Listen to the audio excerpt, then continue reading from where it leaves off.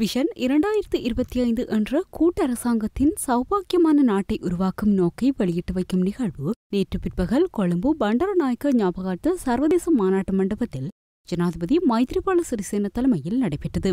இந்த நிகழ்வில் கலந்து கொண்டு உரையாற்றிய ஜனாதிபதி நாட்டினதும் மக்களினதும் எதிர்காலத்துக்காகவே கூட்டரசாங்கத்தை உருவாக்கியதாக குறிப்பிட்டார். கூட்டரசாங்கத்தின் பயணத்துக்கு எந்தளவு விமர்சனங்கள் எதிர்ப்புகள் வந்த போதிலும் அந்த பயணம் சவால் மிக்கதாக இருந்த போதிலும் அது நாட்டுக்காகவும் மக்களுக்காகவும் கட்டாயமாக நிறைவேற்ற வேண்டிய பணியாகும் என்றும் ஜனாதிபதி தெரிவித்தார்.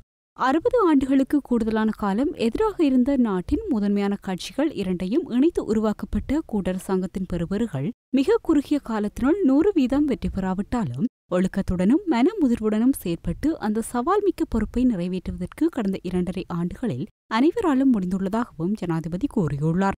எதிர்வரும் காலத்திலும் கூட்டரசாங்கத்தின் பயணம் சிறந்த புரிந்துணர்வுடன் பலமாக முன்னோக்கி பயணித்து நாட்டுக்கும் மக்களுக்குமான பொறுப்புகளை குறைவின்றி நிறைவேற்றப்படும் என்றும் ஜனாதிபதி மைத்ரிபால சிறிசேன மேலும் தெரிவித்தார்.